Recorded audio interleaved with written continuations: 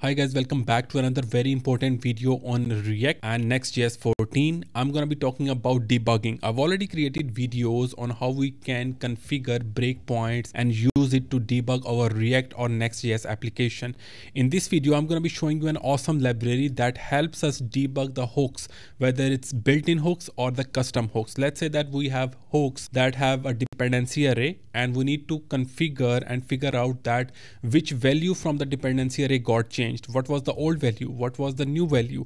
And it's very hard to analyze and time taking to debug these kinds of things using console log statements or the breakpoints. So the library i'm going to be using is this one use what changed it is an awesome library i'm going to be showing you how we can configure it install it and use it in multiple react hooks so let's go ahead i've already created a new next.js project next.js 14 and currently it is showing nothing because I've not added anything. So first of all, I'm going to be showing you an example to debug a use effect hook. So I will be creating a new component. So let's create a new folder first of all. And inside it, I'm going to be creating a new component. So let's say use effect hook.tsx. All right. So I'm going to be creating this one. And uh, first of all, I will be importing that hook so use effect and also I will be needing use state hook. And in Next.js as you already know I've already created almost 50 videos on my channel on Next.js if you want to learn Next.js you can check out my channel and you can find videos on pretty much every topic on Next.js 14 and Next.js 13 so here I will be giving it use client because I'm using hooks. Without converting use client it will throw an error that you cannot use hooks in the server components in Next.js so first of all I will be creating couple of variables using use state hook. So first of all this is going to be the count. Let's add the set count here. Use state. And initial value is going to be zero. Let's add another variable. Let's say the name set name use state and let's give my name to it. After that i'm going to be using use effect hook and uh, this is going to have this kind of syntax. Let's give it the count and the name inside the dependency array. Okay and inside this use effect i'm gonna be adding effect triggered by changes in count or name. So first of all inside this div let's add h1 and uh, hello and I'm gonna be adding and printing the value of this name. And after that I will be creating an import. This is going to change the value of this name. So this is going to have this tailwind CSS styles um, and then this value and on change is going to take this particular function. So let me add this function above this return statement and below this I'm going to be adding an other h1 and this is going to be the count. And let's print the value of this count. Let's give some tailwind css classes to it by adding the margin top to 6 okay? So below h1 i will be creating another button. Let's give it a class. Background is going to be the black.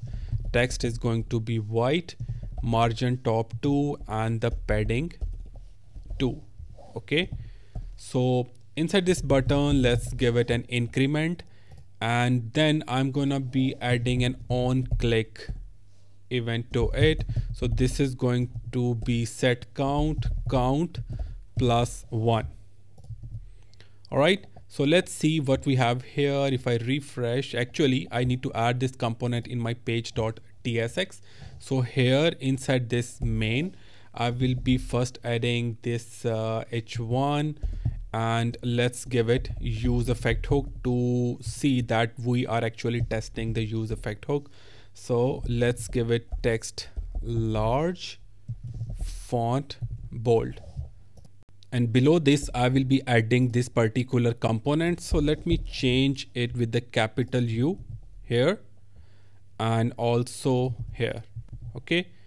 And here I will be adding use effect hook. This will be automatically imported and like this. Now if I go so this is the UI it has printed. Now if I change the value like this you can see that it has printed this message and if I click on the increment it's again going to print the same message. We can print the values of it by adding it over here but it's not convenient when we have a lot of uh, variables over here. And uh, currently these are the primitive types. We can have the arrays we can have objects we can have a lot of other values over here. So now it's time to install that particular package and show you that what is the benefit of that. How convenient is that to debug this particular hook. And inside this terminal I'm going to be installing npm install.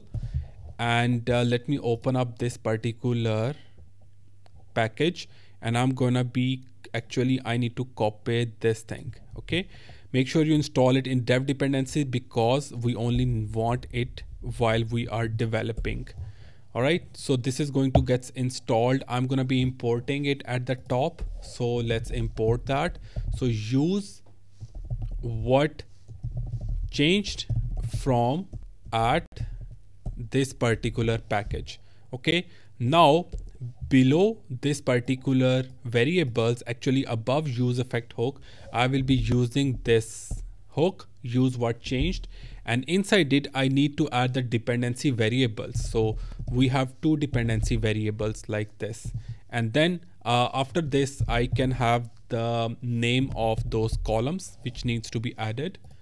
All right so now let's save this file and I'm going to run my project npm run dev. Now in the browser if I refresh this page it's going to show up something. We, you can see that it's showing it in the form of table. It's showing two variables which are the dependency variables added over here which are equal to the dependency variable of the use effect hook and here it's showing the old value new value old value new value. Now if I try to change the value over here you can see that every time that dependencies gets changed and use effect hook is going to get triggered it's showing what was the old value and what is the new value and which variable got changed in the dependency array. And the name variable got changed. Count did not got changed. If I click on the increment now you can see that here now it's showing that the name did not got changed. And uh, this is the new value. This is the old value for the count variable. If i keep on clicking on it uh, you can see that it's showing old and new value. So it is really beneficial whenever i try to debug these particular hooks whether it's use effect use memo use callback custom hooks this library really helps me to debug what are the values coming in and uh, how we can fix that particular issue so let me quickly show you that this particular library can be used with all other React hooks in Next.js 14 as well as well as the custom hooks. So quickly, I'm going to be creating couple of more files. So first of all, I will be creating this one callback hook.tsx. Let me create that RFCE callback hook. So inside it, first of all, I will be importing it at the top use client because we are using hooks and this is what I have imported. And then I'm going to add one variable using use state. And then I will be creating another function using use callback. As you already know that this particular hook is used to remember a particular value within the function. So I'm going to be calling this function from within this return statement below. All right so this is going to have this number title this is going to call this particular function calling this increment. And just like this one i'm just going to copy this use what changed and i'm going to paste it over here. And here i will be adding a number. Let me remove this. Let me add the title to this table all right? So this is something which I need to add over here. Let me add it like this. And let me add one margin at the top. Margin 4 let's say and use callback hook. And here I need to import that particular hook callback hook. All right? So let me add this. This one has been added all right? So here you can see that this has been added and uh, here uh, it's showing this particular number and it's also showing this particular object as well with new value and the old value. If i click on the increment you can see that it's showing this particular number old value new value and it means that we can use this library in this hook as well we can use it in use memo hook with the complex calculation as well. So let me quickly show you by creating that. So i'm going to add memo hook dot tsx so inside it let me add this one okay? And at the top just like the other files i will be adding these particular import statements and i will be adding this particular state variable. And in order to use use memo we need to have complex calculation. As you know that this particular hook is used to improve the performance of our app okay? And uh, it's only going to trigger this particular logic when the value gets changed inside the input value. The different value comes in this particular dependency value.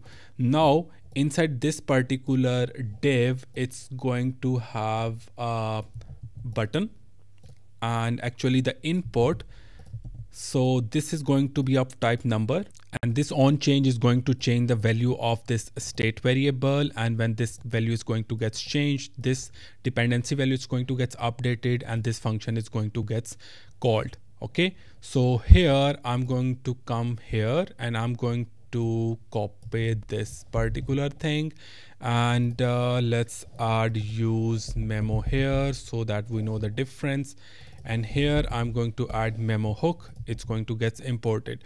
Now in the UI let me refresh this page. Uh, you can see that we can click on it and showing the result. But inside this console log actually I think I have not added this thing. Use what changed. So let me add that above this particular function with the same value of the dependency array okay? Now let's refresh. And here you can see that input value old value and the new value. Let me change it.